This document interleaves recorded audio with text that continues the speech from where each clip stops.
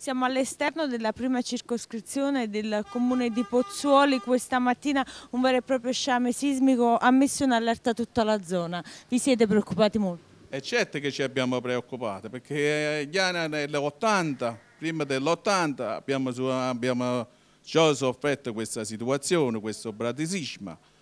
Però noi che siamo nativi di Agnano, già sappiamo che ogni 20 anni, adesso sono 35 anni, e fa sempre questo.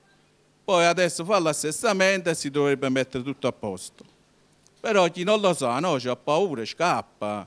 Finché che, che non è ambulatorio va tutto bene, perché noi sappiamo che è la soffataria, il bradisismo. Però purtroppo eh, ci sono bambine, donne anziane, eh, hanno paura, uno si preoccupa. Quella che ha spaventato di più è stata la quarta scossa, quella che poi ha portato eh, l'evacuazione delle scuole. Eh, quello che più mette in allerta è anche l'assenza di un vero e proprio piano di evacuazione. Eh certo, qua non c'è niente, non abbiamo una strada di collocamento che va direttamente verso Pozzuoli. Dobbiamo uscire per andare a Napoli e poi dobbiamo andare a Pozzuoli. questa è una trappola. Questa è la conca di Agnano Pisciaretti. Io sono nativo di Agnano Pisciaretti. Questa è una trappola, qua non abbiamo dove scappare. Io abito qua, a via Pisciarelli, non c'è una viga di fuoco. Non abbiamo una strada collegata con Pozzuolo oppure che ci possiamo andare subito su una strada principale come la tangenziale, una superstrada. Non abbiamo niente. Ho sentito la terza scossa e la quarta che è stata molto pesante.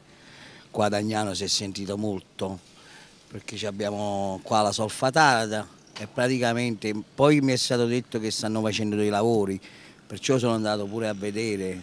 cosa ha visto? No, niente, per adesso ancora niente, però mi è stato detto che stanno facendo dei lavori verso Pozzuoli, stanno facendo degli scavi però vogliamo accettarsi se è vero o no. Comunque la seconda, eh, la terza e la quarta scorsa si sono sentiti molto pesanti qua ad Agnano. Vi siete spaventati anche tante scuole evacuate? Io ho visto guarda, la gente che scappava, la terza scorsa che si sono andati a prendere i bambini qua a scuola, la gente si sono messi paura, i palazzi sono scesi tutti giù, la gente si è movimentato un poco, cosa. si è bloccato per quei 10-15 minuti un po' di traffico qua ad Agnano. Avete paura che succeda qualcosa di più grave? Più grave sì, eh, abbastanza comunque, la gente è in allerta, quindi i negozi hanno chiuso pure. Eh. Se ci fate caso tutti i negozi qua ad Agnano hanno chiusi, sono andati via comunque perché parecchia gente che si è andata via, quindi si sono messi paura parecchie persone.